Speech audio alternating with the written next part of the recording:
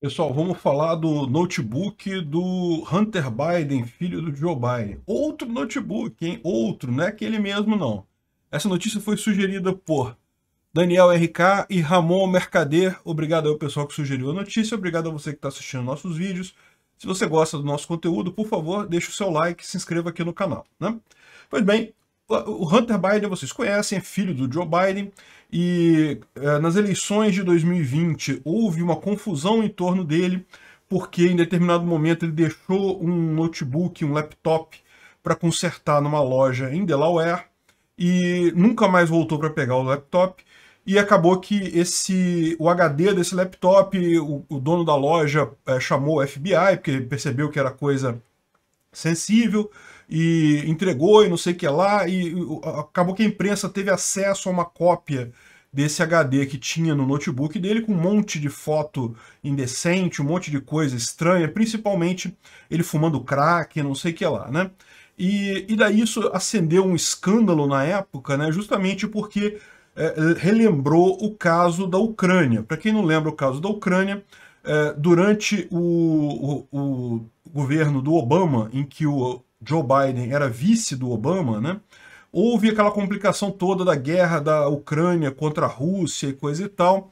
E em determinado momento, os Estados Unidos foi chamado a ajudar e coisa e tal, mas aparentemente cobrou alguns favores, né? A administração Obama cobrou alguns favores. Para isso, ameaçou suspender a ajuda e coisa e tal.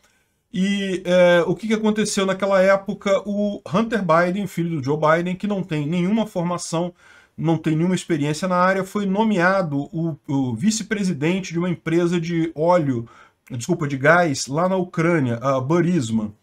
E ele ficou lá durante um, um, bom tempo ganhando dinheiro, sem falar uma palavra de ucraniano, sem saber nada do assunto e coisa e tal. Claramente era algum tipo de pagamento por alguma coisa. Né? Pode até ser que não tenha sido uma, uma troca direta, tenha sido uma forma da empresa fazer é, se mostrar favoravelmente para o governo americano, para o Joe Biden, mas certamente tinha coisa estranha ali, né? E é, nesse, então já havia esse escândalo antes, né, dessa contratação dele pela Burisma, que sem dúvida alguma era algo muito estranho. A gente já fez uns vídeos aqui explicando esse assunto, mas o que aconteceu? Né? Quando é, teve esse novo notebook, esse, esse notebook liberado na época da eleição, ali tinha e-mails mostrando que, na verdade, o Joe Biden estava envolvido nisso. Porque em e-mails o pessoal da Burisma pedia para o Hunter Biden falar não sei o que para o Joe Biden, não sei o que lá, ou seja, eles mantiveram contato, marcaram reuniões e coisa e tal. De fato, esse pagamento à Burisma, tudo indica, era um pagamento a Joe Biden, não a Hunter Biden, Hunter Biden como filho, o papel dele era só ser o intermediário ali, né? Só que ele deixou esse notebook lá para conserto e nunca foi pegar. Isso foi um escândalo por duas coisas. Primeiro, porque mostra o absurdo que é. Mostra que, na verdade, o Joe Biden tem negociação, negociações absurdas aí com um monte de gente bem suspeita nessa história. E o outro absurdo disso foi que na época que isso foi liberado, perto das eleições lá nos Estados Unidos, houve uma reação muito forte da imprensa americana é, tá, tratando isso como fake news, como impossível, não, não sei o que lá. Quem falava sobre isso foi é, calado e coisa e tal. Eu suspeito que o segundo strike que eu levei na época foi porque eu fiz um vídeo sobre isso também lá no YouTube. Eles não deram strike nesse vídeo que eu fiz sobre o Hunter Biden, fizeram num outro vídeo, mas nada me tira da cabeça que foi uma espécie de punição por eu ter falado desse assunto. Mas, de qualquer forma, o, o que aconteceu foi justamente isso. Né? Ficou uma coisa, é, é, um escândalo à véspera da eleição e que a imprensa calou. Normalmente, quando tem um escândalo desse tipo, caramba, o cara tem um notebook mostrando que ele tinha negociação com o pessoal da China, com o pessoal da Rússia, com o pessoal da Ucrânia, e envolvia o pai dele também, o, o, Joe Biden, e no entanto isso tudo foi abafado pela imprensa, que queria fazer de todo jeito que Biden ganhasse do Trump na eleição, a gente sabe disso, né?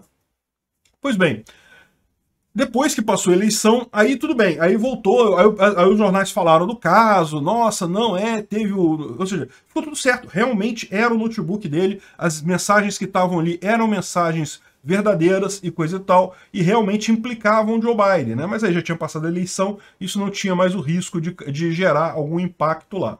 E agora foi liberado um outro vídeo do Hunter Biden contando com uma prostituta em 2018, tá? Não é agora, não, esse, esse, esse vídeo que tá... Agora eles conseguiram liberar esse vídeo, essa, essa, esse vídeo, né?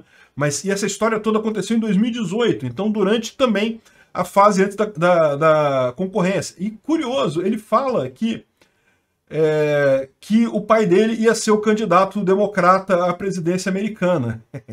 Ele já sabia em 2018. Lembra aquele negócio de é, é, é, é, primárias democratas, o pessoal votando, não sei o que lá, não sei o que lá. Eles já sabiam quem ia ser. E o pessoal desconfiava também que ia ser o, o, o Joe Biden, como eu expliquei para vocês na época. Era a pessoa mais próxima, que mais tinha possibilidade de desbancar o Donald Trump, porque era o cara mais do centro, era um cara que não era radical de esquerda no Partido Democrata. Né? Então era a única alternativa, na verdade, que eles tinham houve na época, nas primárias democratas, tinha 40 candidatos uh, em determinado momento, mas no final das contas é, ele realmente era o cara mais de centro, o resto era todo mundo esquerdista desvairado, né? Enfim.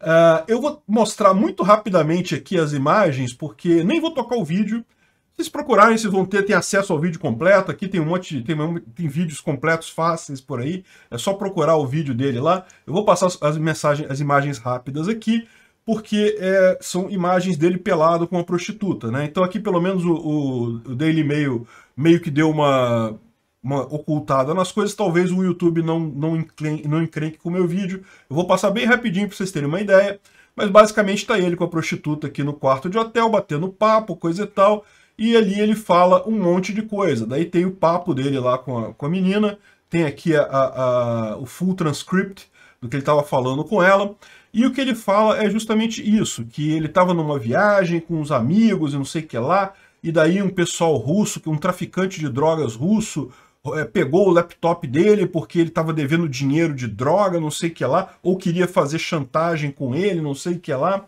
E... É, é... Repara, é outro laptop. Não é o mesmo laptop que teve naquele caso lá de 2020. Em 2018, esse cara, alguém devia proibir ele de ter laptops, porque pelo visto ele não, não consegue se dar muito bem com esse tipo de tecnologia, né? Então o, o, o cara, é, roubou, o traficante russo roubou o laptop dele e aparentemente estava ameaçando chantagear ele. Caraca, realmente. E tem, aí liberou esse vídeo, esse vídeo aqui. É, é, é, depois é de um outro coisa, teve uma terceira liberação no final das contas, que é justamente agora ele, dele conversando com essa prostituta e falando sobre esse caso de 2018. Né? Esse vídeo também foi gravado em 2018. É, realmente eu vou te falar um negócio, tá mais do que claro nessa história toda que Hunter Biden tem problemas, né? Agora, o, o mais sério disso tudo é que, tipo assim, se fosse o problema do Hunter Biden só, isso seria o de menos.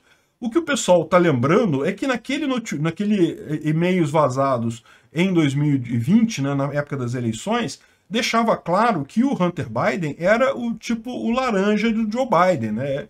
É, meio que o filho que nunca conseguiu fazer nada na vida, nunca conseguiu chegar em lugar nenhum, mas aí ficava recebendo dinheiro para o pai, ficava fazendo contato pelo pai, né? O que significa muito fortemente que pode ter um monte de governo estrangeiro aí com um monte de informação bastante crítica sobre o Joe Biden. E aí a gente fica pensando, pô, o fato de Joe Biden ter entregue o Afeganistão para a China, assim, de mão beijada, sair de lá, entregou para o Talibã e para a China, coisa e tal, será que rolou algum tipo de, né, de acerto aí por trás, né? É realmente uma coisa complicada. Nessas guerras de máfia é sempre engraçado de ver. Do ponto de vista libertário, não tem muita coisa para falar aqui não. Ou seja, o cara tava com prostituta, do meu ponto de vista. Se ele pagou, tá tudo certo, é direito dele fazer o que ele quiser lá. A menina é maior de idade, pagou, aceitou, tudo entre adultos, perfeitamente legal. Agora eu fico imaginando realmente o pessoal que acredita em Estado, acredita que não, que, que sei o presidente que manda, não sei o que lá deve ficar apavorado com isso daí, porque meu amigo tá na cara que o Joe Biden tem rabo preso. Se chegou até aqui e gostou do conteúdo, clique no like e se inscreva no canal. Isso me ajuda e ajuda também a causa da liberdade, pois o YouTube vai passar a recomendar mais os meus vídeos e vídeos com temas libertários para você e para outras pessoas. Considere também clicar no sininho e pedir para ser notificado de novos vídeos. Caso queira sugerir uma notícia para falarmos aqui, é só ir no nosso site https ancap.su, clicar lá em sugerir uma pauta, colocar o link da notícia, pode acrescentar alguma informação se você quiser. Eu agradeço a todos que nos ajudam a fazer este programa.